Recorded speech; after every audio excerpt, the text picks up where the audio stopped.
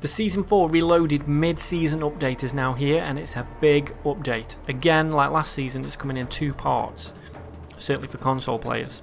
So I'm going to explain how you install these two different parts of the update in a second, but first let's just have a quick look at what's new in the update. So the big thing, 200 player Warzone, increased from what we were on before which was 150 players. So this at the moment is in, just in Battle Royale quads. Don't know whether they're going to be adding it to the other modes at some point, but they've said this is a limited time mode of quads 200 players. So I'm assuming they're going to see how this goes, see if the servers can handle it, see what people think about it before rolling it out to other modes. We've got new supply run contracts. Upon activation, you and your squad will be directed to a nearby buy station. Reach it within the time limit to get a discount on buy station purchases. So this sounds similar to the fire sale event that randomly happens during the game, but obviously the fire sale happens for everybody, whereas this is just for you and your squad. And I'm guessing it's going to direct you to the nearest buy station.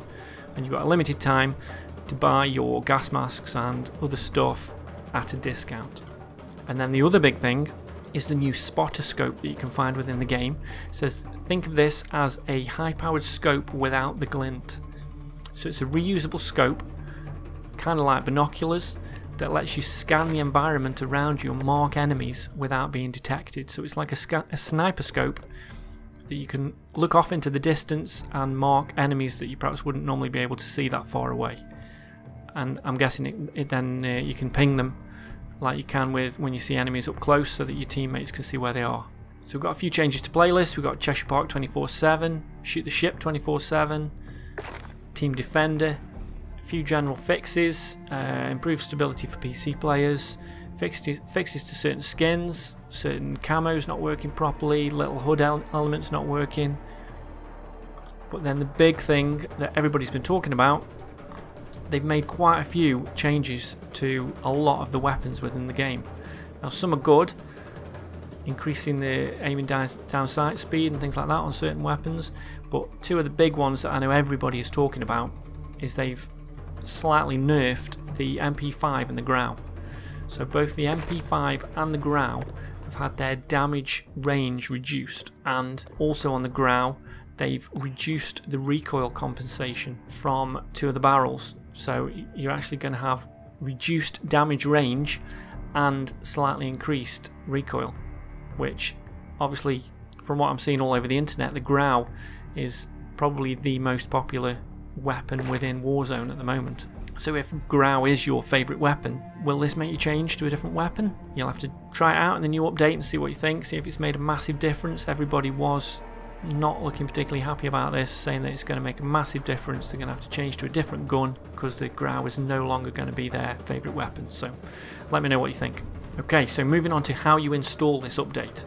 So if you're on console, the update should install in the normal way. If you've got it set to automatically update, it should either download itself while your console is asleep or certainly like with mine, mine doesn't auto update for some reason. So as soon as I turn my console on, Modern Warfare will then start updating itself. And this is quite a big update, it's 30 odd gig. So it's going to take a while depending on your internet connection. Then once that is downloaded, if you only want to play Warzone, then you can jump straight into the game. That's all you need to get straight into Warzone. This update is now done. However, if you want to play multiplayer, there is actually a second separate pack that you need to download. So if you go into the game, you'll see on the main menu that if you go across to multiplayer, it will say you need to install a pack. So if you click on that, it should then take you, this is on Xbox, it will take you to the Microsoft Store where you see the, the pack. After you've chosen it in this list, it will take you through to the Microsoft Store to download the pack. So then you've got to wait for this additional pack that's going to download. And once that's done, you then need to quit out of Modern Warfare back to your home screen on your Xbox and then load Modern Warfare back up for the update to take effect and then you'll be able to get into multiplayer and you'll be fully updated. So hopefully that's helped you out. Let me know if you managed to get into the into the game today and you managed to get it all updated. I know unfortunately these people with uh, slow internet connections they could be waiting a day or more for, for it to download because it is a huge update. So hopefully you won't be waiting too long and you can jump straight in.